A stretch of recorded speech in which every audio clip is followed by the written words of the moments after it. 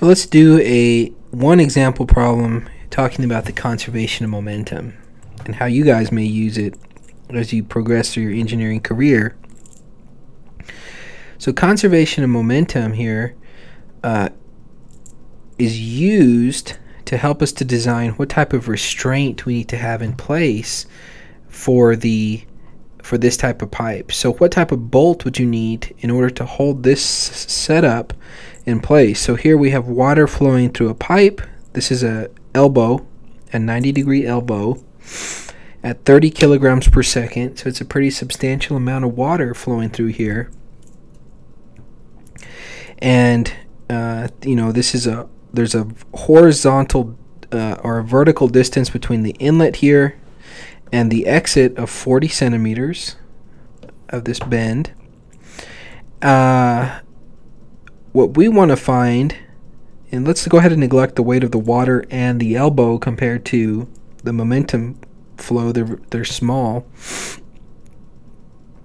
Let's go ahead and find what the pressure at the inlet of this pipe is, and then once we know that, let's find what the force is acting or that we need to restrain this type of um, setup. So the first part is find pressure at the inlet.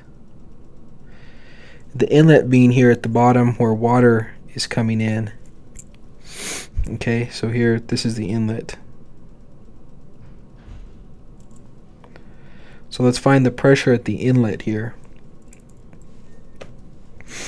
Well, let's think.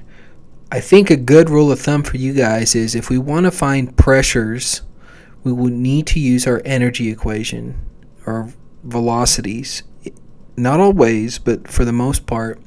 And if we want to find forces, we are interested in using this momentum equation, okay? So P1 over rho g, since we're interested in finding pressure, I'm going to go ahead and write down our energy equation. And then we'll simplify it to solve for our pressure at our inlet. But before we do that, we're going to need to select what our uh, inlet and what our exit are for this set system. So let's do that. So our inlet here, let me go ahead and make this red. First thing I'm going to do is I'll select the inlet. So I'll say the inlet is 0.1 and I'll say the exit is over here at point 2 so it's open to atmosphere at point 2 so let's simplify this equation now. So we we know we have we want to solve for p1 velocity 1 and velocity 2 hmm. What do we do? We know we have a velocity at 1 we have a velocity at 2 well since the diameter is constant so dia is constant that means the area of the pipe is constant. Remember, so let's recall mass flow rate in the pipe is rho times the cross-sectional area times the velo average velocity. So if we have mass flow rate coming in equals to mass flow rate coming out, and we know that density times area times velocity, if the density doesn't change for this water as it comes in and out, and if diameter is constant, areas have to be constant, so velocity in has to equal to velocity out. Or velocity 1 is equal to velocity 2. If they're equal, then they cancel out on both sides of this equation. We do have an elevation difference, but we're going to set Z1 as our zero point. We have no pump in our line we have an elevation at point 2 of 40 centimeters. So we do have this. We do not have a turbine in our line, and we're assuming, we're going to assume no losses, okay? Just for simplicity. As you get into your fluid mechanics class, you can start assuming losses and you actually get into quite a good detail of how to calculate those.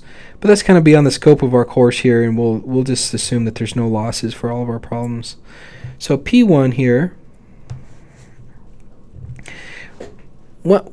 Well, let me let me mention one thing here too. Okay, um, so in this energy equation, and for our momentum, so for conservation of momentum,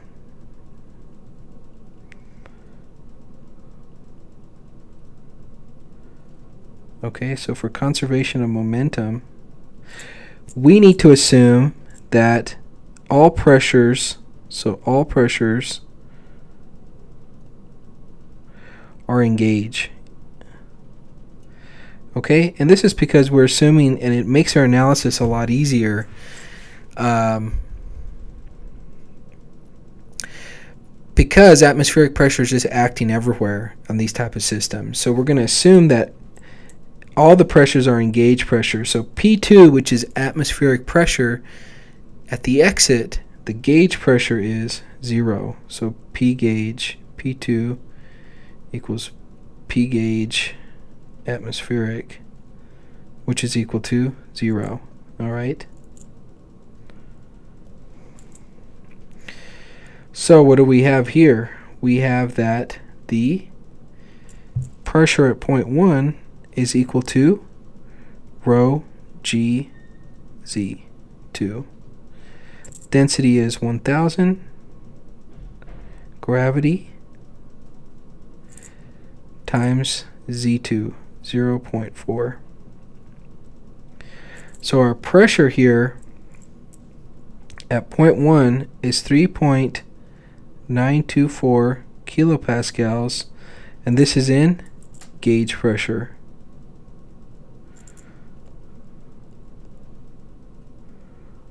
Okay? Which is what we're interested in in these type of problems. So the next part of our question is asking us what is the force needed to hold this in place. So let me go ahead and write the conservation of momentum equation here based on our Reynolds transport theorem. So we have all of our accumulation within our control volume, okay? And another thing to mention here is that this is a vector term, okay? So we can't just analyze it in any direction we want, like we did with mass and energy. We have to take into account the direction here of our flow, and that's going to play a big, uh, a big role in our calculation. So I'm only going to consider, and let me go ahead and draw a coordinate system. So this is going to be our x, this is going to be our y. Okay, so our x direction, sum of the forces in the x direction, we're going to assume that everything is steady, okay? So this is steady. So we have no accumulation in our system in the x or the y direction. This beta term is a correction factor. It's just given as 1.03. It's to, it's to make some corrections as to the approximation that we're doing here. And uh, you can read more about that in your text if you're interested. So sum of the forces here is going to be equal to, in the x direction, sum of the momentum, so mass flow rate times velocity coming out of our system minus sum of the mass flow rate times velocity in our system. That's what this equation is saying here. So uh, rho AV, that's so rho, so let me circle this. Rho AV, that's our definition of mass flow rate. Okay, and this tells us if it's positive or negative. If they're both in the same direction, that means it's coming out. If they're in opposite directions, that means it's coming in. That gives us a negative or positive sign, this dot product. Okay? So what do we have coming in and out? Well, mass flow rate is the same for both cases. And we only have one inlet and one exit. So velocity out minus uh, velocity in. Okay?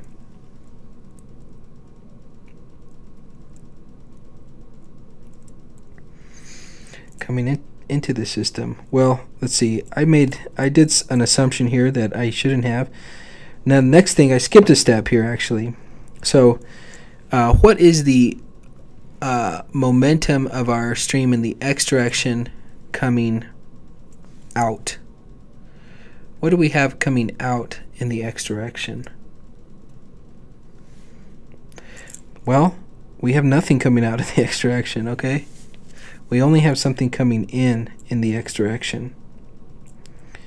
So what we're going to say is the sum of the forces in the x direction is equal to minus mass flow rate times velocity at the inlet. So minus mass flow rate, or and I can put the beta term here too. So this is minus 1.03 times mass flow rate, which is 30 kilograms per second, times the velocity at the inlet, which we don't know yet. So let's calculate the velocity at the inlet.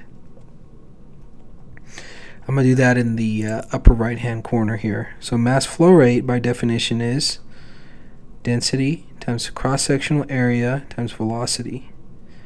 So this is 30 kilograms per second. Our density is 1000.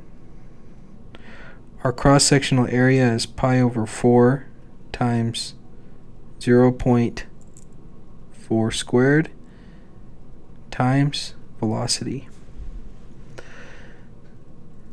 Oh, I'm sorry. I wrote the elevation. So this is 0.1 squared. Okay? That's the diameter of our pipe.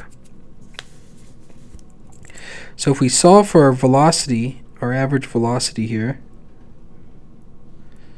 our average velocity is going to come out to be 3.82 meters per second. Now that we know that, we can use that here our inlet velocity and also our exit velocity, since they're the same, are 3.82 meters per second. What about this side of the equation? What are the forces acting in the x direction there?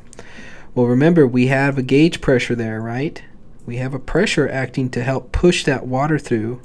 So we also want to know what is the force acting to hold this in place. So let's say we want a bolt that's going to be able to hold it acting in this positive direction. I'm guessing the direction.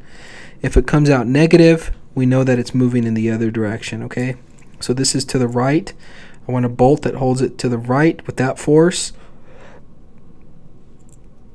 And we also have a pressure helping to push this fluid through this pipe here, okay?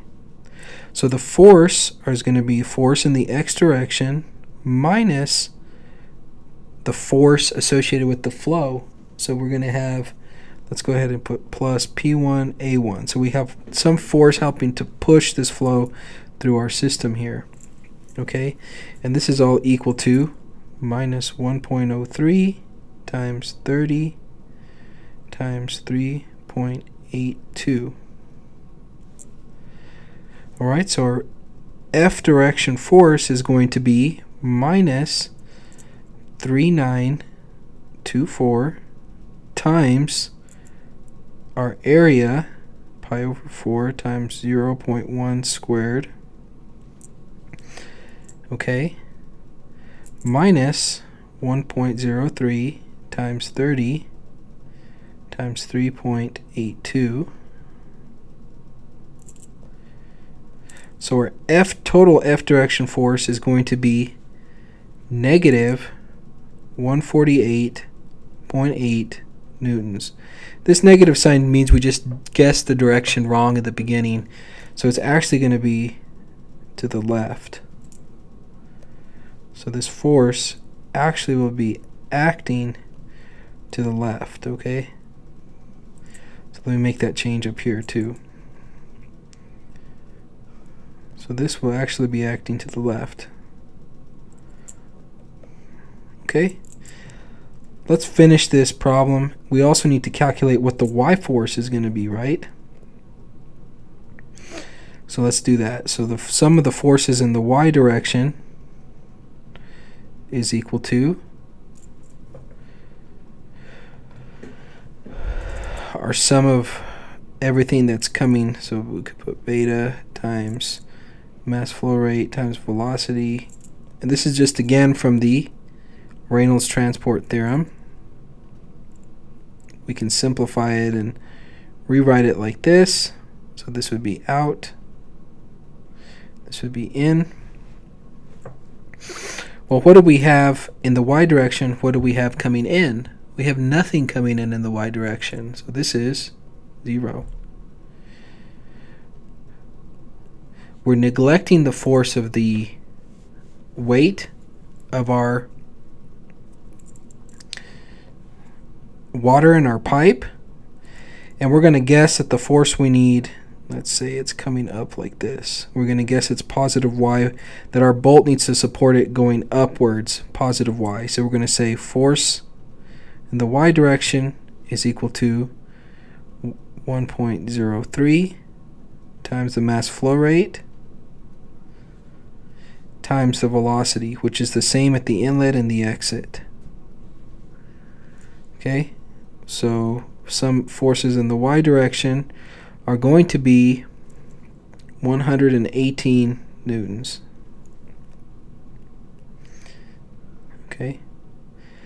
So you see what this would be, be, enable you to do, okay? It would enable you to design a system where you could um, be able to support a certain weight, not only the weight of the object, all right, but also the momentum associated with the flow. So it's going to come in and it's going to push this pipe, and you need something to support it or something that would resist it in a certain um, force in this direction. You need to be able to calculate that if you want this pipe to hold up.